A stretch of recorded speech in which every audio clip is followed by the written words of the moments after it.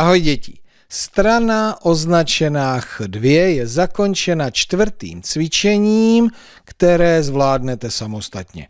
Prosím, přerušte video, vyřešte, vraťte se a řešení porovnáme. Držím vám palce.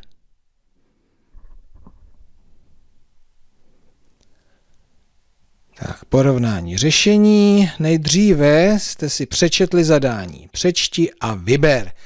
Tak budu číst a vybírat. Moucha umí. Tak mouchu máme tady a tady máme výběr. Míchat, zobat, létat.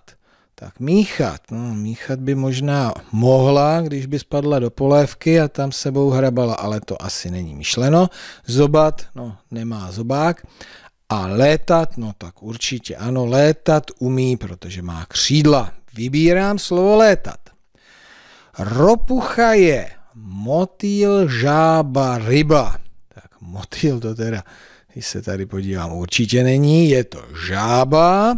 No a když je to žába, tak to nemůže být ryba. Je to tak? No samozřejmě. Takže správné řešení máte také jako já. Moucha umí létat, ropucha je žába. Výborně. Jednoduché cvičení. Zvládli to?